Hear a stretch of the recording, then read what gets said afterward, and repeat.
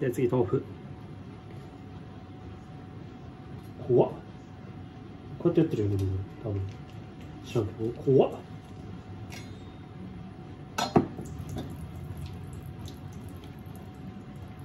えー、てかこれこんなでもいらんか？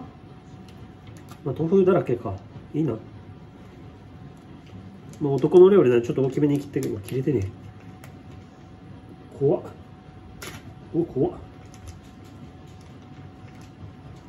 怖っ。見てる方が怖いわってね。どうしよう手に乗せる？手に乗せるか？おしゃれに。やっぱこうこうしてからの？こうしてからのだよね。こうちょっと大きめにいこう。湯豆腐だしね。4つじゃでかい。でかすぎか。でもそんなもんじゃない？ねおお怖い。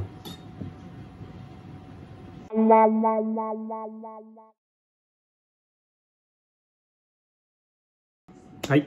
ということで今日は男の料理。っていうかねもううんとママがいなくなって今日の日目かなわかんないけど。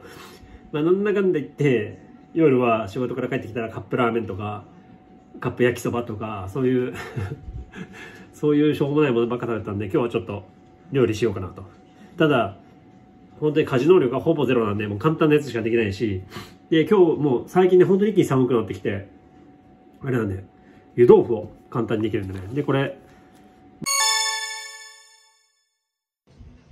湯豆腐いただきます。いい感じです。まあとりあえずポン酢つけて食べればなんとかなるはず。はいということで今日はジャンパスタです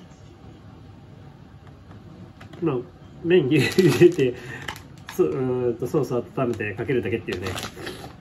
結局クオリティが残念すぎる。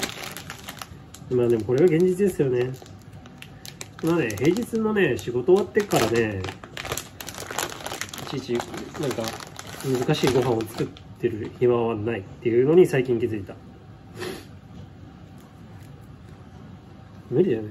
極力時間かけたくないしね。よいしょ。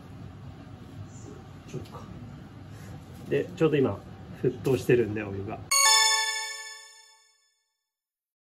よし。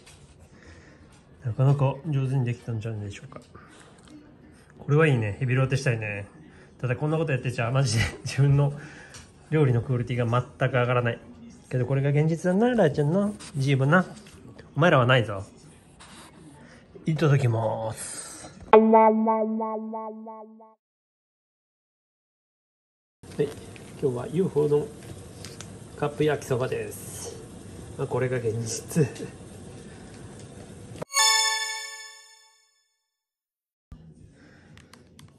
今日は UFO です。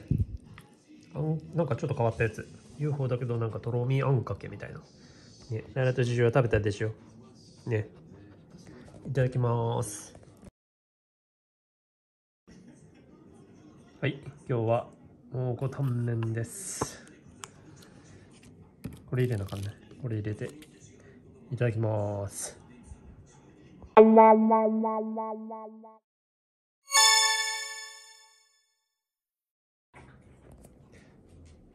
はい。今日の夜はマックです。なっちゃないよ。